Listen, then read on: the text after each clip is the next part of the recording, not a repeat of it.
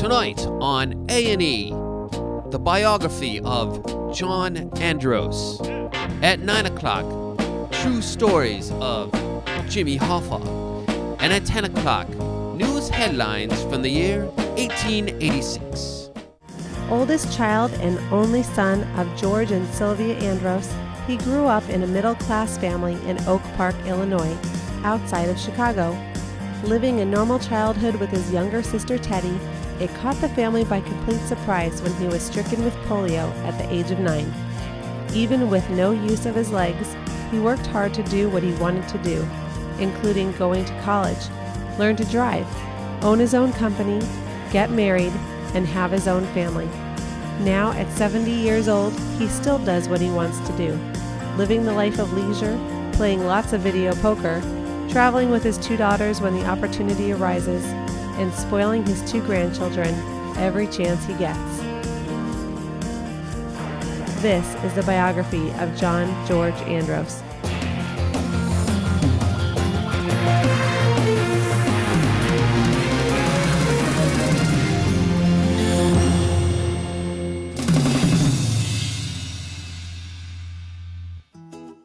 Before we talk about John, we need to step back a bit further to tell you about his roots, all the way back to Australia. Australia? That's right. Mother, Sylvia Toulousa, was born in Melbourne, Australia, to Greek immigrants, who then moved to the States when she was four years old. She eventually made her way to Chicago, finding work at a grocery store as a cashier, also owned by Greeks. As it so happens, a man named George John Andros also worked in that same store. Despite a rocky start, they eventually began a romantic relationship. George John Andros was born in Morris, Illinois in 1908. He grew up very poor in the slums with his father and younger brother, and his mother had died when he was 10. As an adult, George opened his own produce stand. The Great Depression had struck on October 29, 1929, otherwise known as Black Tuesday. These unfortunate circumstances led to the loss of his business as well as his money, which was placed in a bank that would not survive. His hard work and determination eventually led to his employment at the grocery store where he would come to meet Sylvia. George worked tirelessly to regain his own store and make enough money to support a family. Upon his success, after five years of courtship to Sylvia, they married in January 1939 and soon after came their first child, John George, on October 28th. 1939 was quite a year of events. The Wizard of Oz debuted, as well as Superman and Batman. Ironically, many other unusual births coincided with John's, such as food stamps, social security checks, and nylon stockings.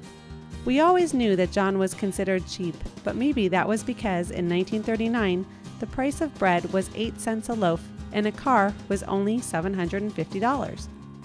The family lived in a one bedroom apartment in West Chicago, which, although considered high end for the time, became very cramped with a quick addition of Sister Teddy.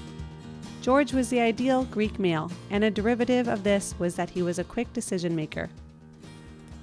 As for a rosary, because all the other kids had them, and I didn't have any rosary, but we weren't Catholic.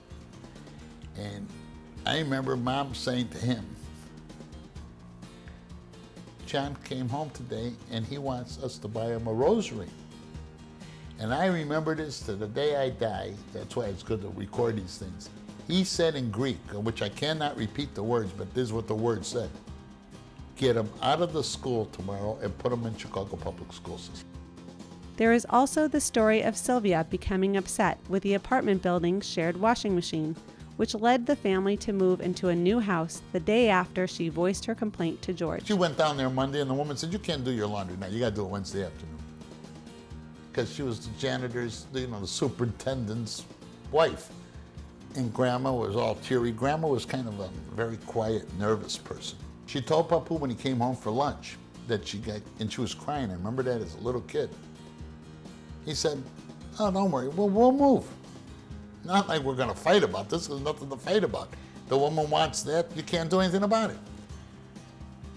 He went back to the store. He came home that night. There's a house for sale. He says, I bought it. right behind the store, which was three blocks away instead of a mile and a half. George had saved $13,000 in cash and used it as a down payment for an $18,000 house. They moved into the Oak Park house in April of 1947. So I was one day at St. Francis of Rome Grammar School. The next day I was at Key Clark Branch. And two weeks after that, we moved to Oak Park. John grew up a happy and fit boy with an active childhood. The family traveled on vacations and even took some great films of their escapades. It might seem unusual for a family in the 40s to own a film camera, but George, along with his business partners Jim and Dan Pavlidis, did very well with the produce stand they owned. George worked like a dog, up at 4 a.m., working until 9 p.m., seven days a week. Of course, he maintained a ritual of coming home every day for lunch and dinner to be with his family. The hard work paid off. The stand soon became a produce store, which eventually morphed into a grocery store, and the partners all made a very good living for the times.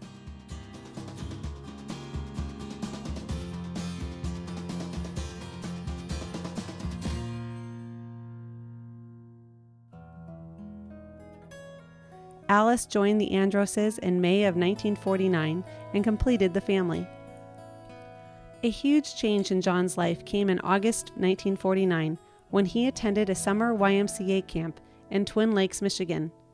At this camp, John contracted polio. It was a disease that you get inoculated for now that make you can't move maybe your arms and legs.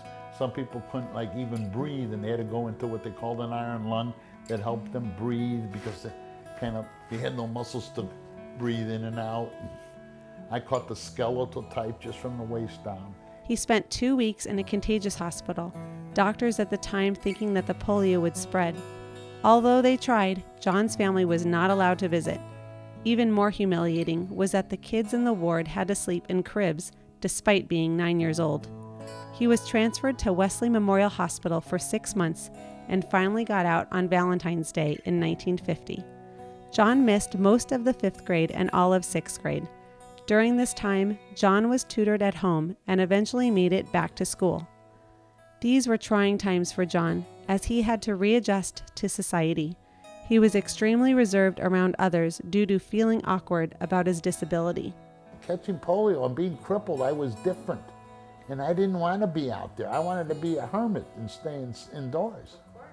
And then I forced myself. I, I literally I, I made up my mind a little bit in college that I started meeting people and people kind of liked me. Not, not that I was real popular, but I started getting friends. I never had any friends in high school except for a few nerds. George didn't want John to drive, but because he was the only son, the eldest son, and crippled, George could refuse no request that John asked of him.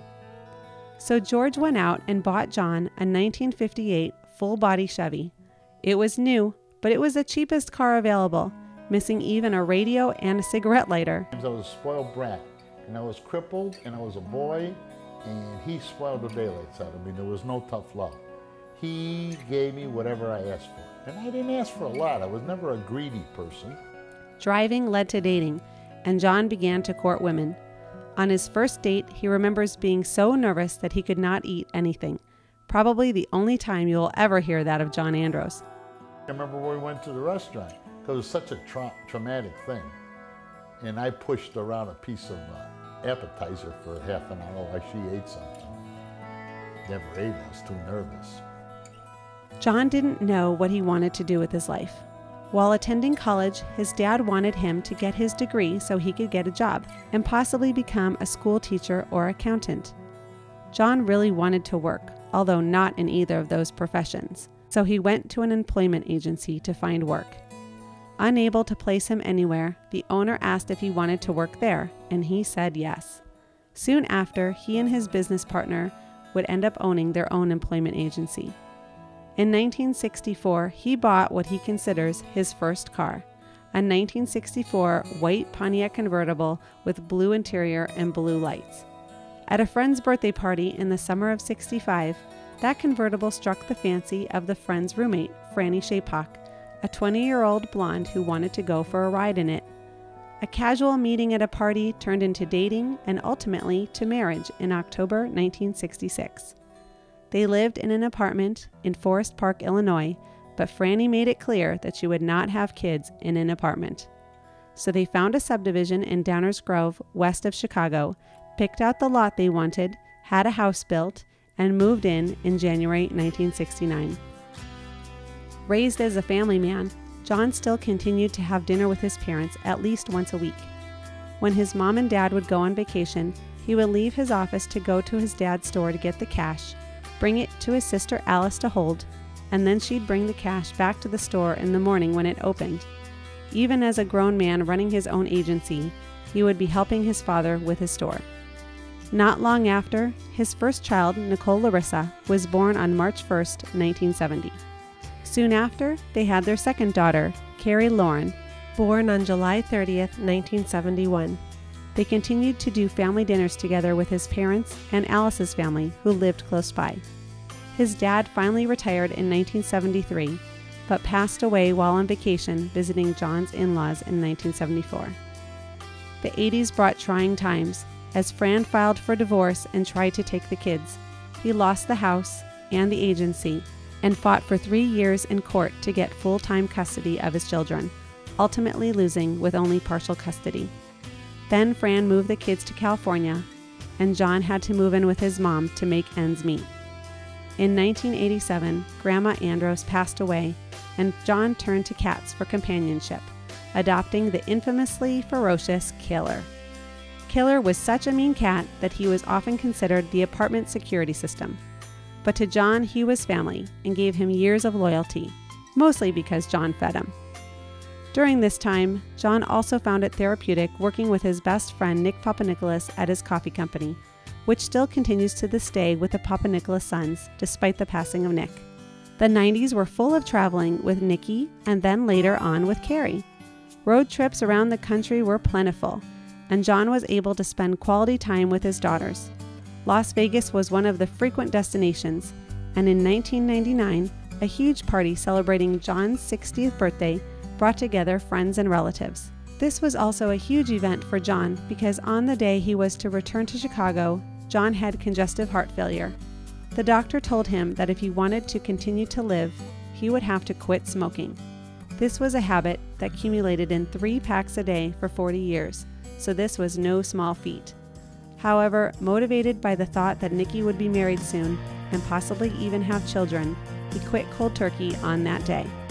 And here he is, 10 years later, at age 70, continuing on and celebrating the determination that allowed him to see the birth of two grandchildren, Jules in 2006 and Tyler in 2008. He has been an exemplary papu, spoiling Jules and Ty whenever possible and enjoying every minute of it. And as John has frequently said, only the good die young, so we should expect to have the great Gimp, or Uncle Papu as he is recently referred, for many years to come.